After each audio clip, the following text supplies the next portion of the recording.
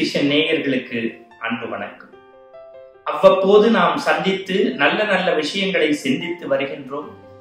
அந்த வகையில் இன்றைய தினம் தேசியமும் தெய்வீகமும் தன்னுடைய இரு கண்கள் என்று சொன்ன மனிதரை பற்றி சிந்திக்க இருக்கிறேன் அவருடைய ஒவ்வொரு வார்த்தைகளும் ஒரு பீரங்கியிலிருந்து வரக்கூடிய குண்டை போல ஒரு நெருப்பு பந்தை போல இந்த மண்ணை உயிரிக்க வந்த சொற்கள் என்றே நான் நினைக்கிறேன். ஒருவன் ஏழையாக கூட வாழலாம் கோழையாக வாழக்கூடாது என்று இந்த மண்ணுக்கு சொன்ன மகத்தான மாமன். வீரம் மட்டும் இருக்கக்கூடாது விவேகம் வேண்டும் என்றார்.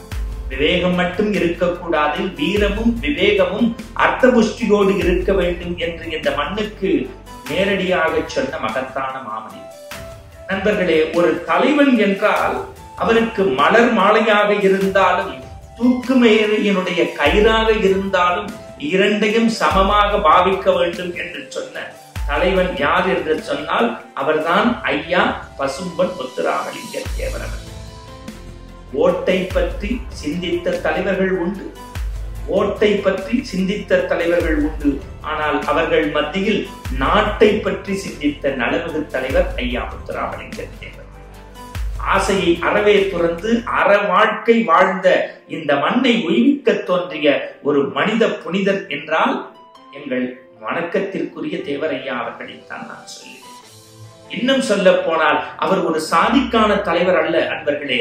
இந்த நாட்டில் சாதனைக்கான தலைவர் யார் என்று கேட்டால் அவர்தான் தேவர் இன்னும் சிறப்பு என்ன என்று சொன்னால் அவரை பற்றிய ஓராயிரம் திரைப்படங்கள் பதிவுகள் குறும்படங்கள் இணையங்கள் அவரை பற்றிய புத்தகங்கள் எல்லாம் வந்திருக்கிறது. ஆனால் ஒரு பத்து நிமிடத்தில் தேவரையா அவர்களை பற்றி தெரியாத விஷயங்களை இதுவரைக்கும் நம்முடைய செவிகளுக்கு வந்து சேராத சில விஷயங்களை நான் பதிவு செய்ய கடமைப்பட்டிருக்கிறேன். காரணம் அசும்பன் என்கின்ற கிராமத்தில் அவர் பிறந்தது என்பது எல்லோருக்கும் தெரியும். பிறந்த சில நாட்களிலேயே தன் ரத்தத்தை பாழாக்கி தோலை தொட்டிலாக்கி கையை கட்டிலாக்கி தரக்கூடிய பத்து மாதம் கருவிலே சுமந்து பெற்ற தாயை இழந்து அவர் துடித்த போது தன்னந்தனி மனிதனாக இருந்த போது அவருக்கு ஆறுதல் தேறுதல் வார்த்தையை சொல்லி பண்பாட்டு நெறியோடு வளர்த்த பெருமை அவரது பாட்டியை சாரும்.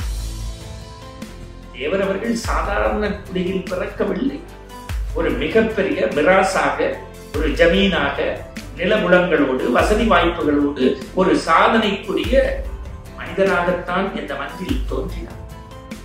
ஆனால் வசதியான வீட்டில் பிறந்தும் கூட எளிமையாக வாழ்வது என்பதுதான் ஆச்சரியத்திலும் ஆச்சரியம். இளம் வயதில் பாட்டியின் நெறியோடு வளர்ந்த அந்த பிள்ளை கல்வியில் சிறந்து விளங்கியது இந்த ஊருக்கு தெரியும் கலை குதிரை ஏற்றம் இன்னும் வாழ் வித்தைகள். அதிலும் குறிப்பாக ஒரு புத்தகத்தில் படித்தேன் சுருள் சுத்துவது என்று ஒன்று ஒன்றாம். தேவர் சுருள் சுத்துகிறார் என்றால் நெருப்பு பிழம்பு பறக்கும் என்று சொல்லுவார்கள். அவ்வளவு ஆற்றல் வாய்ந்த தேவர் திருமகனாருடைய வழியில் சரியான சில விஷயங்களை பதிவு செய்யும் அவரது தமிழ் பேச்சும் ஆங்கிலம் பேச்சும் நம்முடைய இதயங்களை மயில் இறகால் வருடச் செய்யும். எப்போது அவரை பற்றிய பார்வை அனைவர் மீது பட்டது என்று சொன்னால் அவர் முதன் முதலில் இளம் வயதிலேயே இந்த நாட்டில் நூறு இளைஞர்களை கொடு இந்த மண்ணை புரட்டி போடுகின்றேன் என்று சொன்ன சுவாமி விவேகானந்தரை பற்றி பல மணி நேரம் பேசிய முதல் பேச்சே அனைவருடைய உள்ளத்தையும் கவர்ந்து இழுத்தது நண்பர்களே. தேவரை போல இந்த நாட்டில் மின்னி மெழுகிய ஒரு தலைவரை இனி இந்த மண் பார்ப்பது அரிதினும் அரிது. காரணம் என்ன என்று கேட்டால் எல்லோரும் பெண்மையை பற்றி பேசினோம். ஆனால் பெண்மையை தெய்வமாக மதித்த ஒரு தலைவன் உண்டென்றால் அவர்தான் தேவன் திருமகனார் காரணம் சொல்கின்றேன். பாரதி சொல்லுவான் கற்பு நிலை என்று சொல்ல வந்தால் இரு கட்சிக்கும் அதை பொதுவில் வைப்போம். ஆனெல்லாம் கற்பை விட்டு தவறு செய்தால் பெண்மையும் கற்பிடந்திடாதோ பட்டங்கள் வருவதும் சட்டங்கள் ஏற்றுவதும் பாரினின் பெண்கள் நடத்த வந்தோம். மாத தம்மை இழிவு செய்யும் மடமையை கொளுத்துவோம் என்று சொன்னானே. அப்படி பெண்மையின் மேன்மைக்காக பெண்மையை தாயாக சகோதரியாக பார்த்து இந்த பூமியை நாம் பூமாதேவி என்கின்றோம். குடிக்கக்கூடிய நீரை கங்கை காவிரி என்று சொல்கின்றோம். அப்படி பெண்மைக்கு மேன்மை தர வேண்டும் என்று பெண்மை வாழ்கவென்று கூத்திடுவோனா என்ற பாரதி வார்த்தைகளுக்கு வாழ்வாதாரமாக திகழ்ந்த ஒரு தலைவன் இந்த மண்ணில் உண்டென்றால் அவர்தான் தேவர் திருமகனார் அவரை பற்றி ஓராயிரம் செய்திகளை பசுமரத்து ஆணி போல உங்கள் இதயத்தில் பதித்து விடலாம். ஆனால் அவரிடத்தில் எனக்கு முத்தாய்ப்பாக நான் எண்ணி எண்ணி வியக்கக்கூடியது நெஞ்சில் பட்டதை நேர்பட பேசிய தலைவர். இந்த இந்தியாவினுடைய முன்னணி தலைவர்களிடையே முரண்பட்டு நின்ற போதும் தன்னுடைய ஏற்றமிகு கருத்துக்களை எடுத்து இயம்பியதில் அவருக்கு நிகர் அவர்தான். இந்த நாட்டில் ஒவ்வொரு இளைஞனும் வீரத்தின் விளைநிலமாக இருக்கக்கூடிய நேதாஜியை தெரியுமே? அந்த நேதாஜியாலே கவர்ந்து இழுக்கப்பட்ட நம்முடைய தமிழகத்தின் ஒரு மாமனிதர் உட்டென்றால் அவர்தான் நம்மளுடைய ஐயா முத்துராமலிங்கம் நேதாஜியினுடைய இல்லத்திற்கு போகின்றார். நேதாஜியினுடைய தாயார் பருவங்களை சுருக்கி யார் இவர் என்று கேட்டபோது உன்னுடைய இன்னொரு மகன் வந்திருக்கிறான் என்று நேதாஜி சொன்னபோது இந்த நாடே கம்பீரமாக எழுந்து பார்த்ததே அந்த தேவர் திருமகனாருடைய செயல்களை நான் என்னவென்று சொல்வது? பிற்காலத்தில் தன்னுடைய அத்தனை சொத்துக்களையும் பல சமூகத்தினருக்கு இந்த சாதி அந்த சாதி என்று சாதிகளை பார்த்து வாழ்ந்த மக்கள் மத்தியில் சாதிகளுக்கு சவுக்கடி தந்து முற்றுப்புள்ளி வைத்து எல்லோரும் ஓர்குலம் எல்லோரும் ஓர் இனம் எல்லோரும் இந்நாட்டு மக்கள் என்று சமுதாயத்தில் ஒரு மேன்மை வர வேண்டும் என்று மீனாட்சி கோயிலிலே புரட்சி பண்ண மாமனிதர் தான் ஐயா முத்துராமலிங்கர் அவரை பற்றி ஆயிரம் செய்திகள் உண்டென்றாலும் கூட அன்பர்களே இன்றைக்கு கண்ணீரோடு இந்த பதிவை முடிக்கின்றேன் ஒரு அதிகாலை நேரம் பரபரப்பு மிகுந்த சென்னை குழந்தை முதல் பெரியவர் வரை வாழ்க்கையிலே பிறருக்கு மரியாதை கொடுப்பது எப்படி என்பதை இந்த மண்ணுக்கு சொல்லித் தந்த ஒரு மனித புனிதர் தேவரையாவினுடைய வாழ்வில் நடந்த ஒரு ஒற்றை சம்பவத்தை சொல்கிறேன் வீரமா? அவருக்கு வெற்றிதான். ஆன்மீகமா? வெற்றிதான். அரசியலா? அவர் மட்டுமல்ல ஆயிரம் தலைவர்களை இந்த மண்ணில் உருவாகியதற்கு அஸ்திவாரமாக விதையாக இருந்த ஒரு தலைவன் தேசியத்தையும் தெய்வீகத்தையும் இந்த மண்ணில் வேரூன்றச் செய்த ஒரு மிகப்பெரிய ஞான புனிதர் தேவரையா இது எல்லோருக்கும் தெரிந்த செய்தி. ஆனால் இப்பொழுது நம்முடைய நெஞ்சம் அப்படியே கனத்து போகிறது நண்பர்களே ஒரு அதிகாலை பொழுது தேவரையா சென்னையிலே ஒரு அம்பாசிடர் காரிலே புறப்படுகின்றார் சீட்டின் முன்பகுதியிலே உட்கார்ந்து கொண்டு ஓட்டுநரை பார்த்து இடது வலது என்று சொல்லிக் கொண்டே வருகின்றார் சென்னையில் புகழ்வாய்ந்த மயிலாப்பூரிலே இருக்கக்கூடிய கச்சேரி ரோட்டில் ஒரு இல்லத்தில் போய் கார் நிற்கிறது நண்பர்களே. இறங்கி வருகிறார் அவரோடு ஒரு உதவியாளரும் வருகின்றார். உள்ளே செல்கின்றார். உள்ளே சென்றவுடன் தட்டு நிறைய பழங்கள் பழங்களுக்கு மத்தியில் இரண்டு அற்புதமான கைத்தறி புடவைகள்.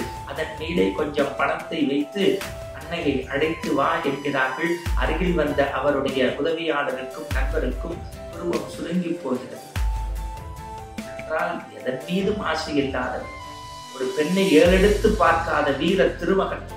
பெண்மை வாழ்கவென்று கூத்திடுவோமனா என்கின்ற பாரதியின் வரிகள் முறுக்கு மீசை கவிஞனுக்கு இந்த நாட்டில் அப்படியே பாத்தி கட்டி வாழ்ந்த ஒரு பட்டய தமிழனாக இருந்தவர் தேவரையா.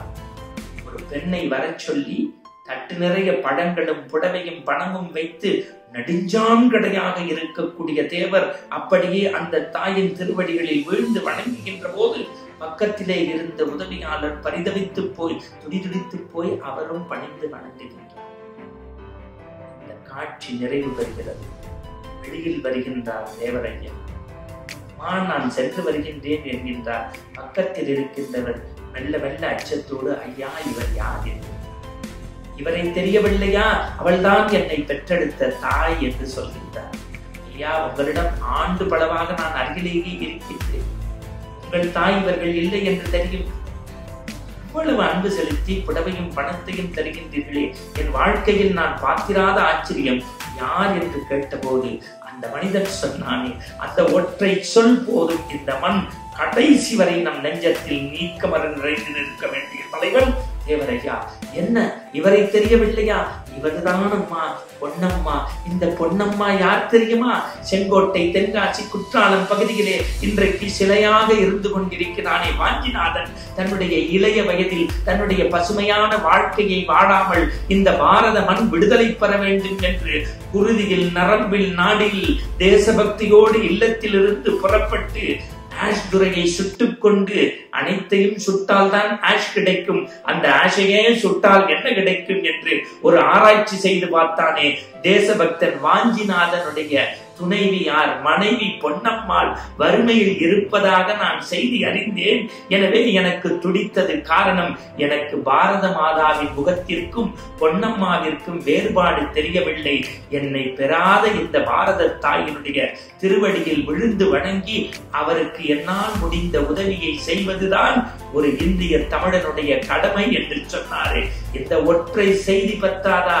உருவத்தில் மட்டும் உயர்ந்தவர் அல்ல தேவர் உடையில் மட்டும் வெள்ளை அல்ல தேவர் உள்ளத்திலும் வெள்ளையாக இருந்த ஒரு ஒப்பற்ற அரசியல் தலைவர் ஒரு ஒப்பற்ற மனித புனிதர் ஒரு ஒப்பற்ற சாதிக்கான தலைவர் அல்ல சாதனைக்கான தலைவர் நேதாஜியை போல தமிழகத்தின் நேதாஜியாக விளங்கிய வீரத்தின் விளைநிலம் தேவரையா அவர்களை இதயத்தில் நாம் சுமக்க வேண்டும் என்று சொன்னால் ஜாதி மதங்களை பாரோம்.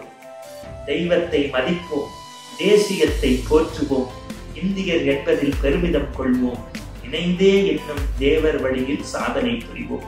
மீண்டும் ஒரு நல்ல பதிவில் ஐரிஷ் விஷன் வாயிலாக உங்களை சந்திக்கிறேன் சிந்திக்கிறேன். வணக்கம். இந்த தகவல் உங்களுக்கு பிடிச்சிருந்தா லைக் பண்ணுங்க உங்க ஃப்ரெண்ட்ஸுக்கு ஷேர் பண்ணுங்க. மறக்காம எங்க சேனலுக்கு சப்ஸ்கிரைப் பண்ணுங்க.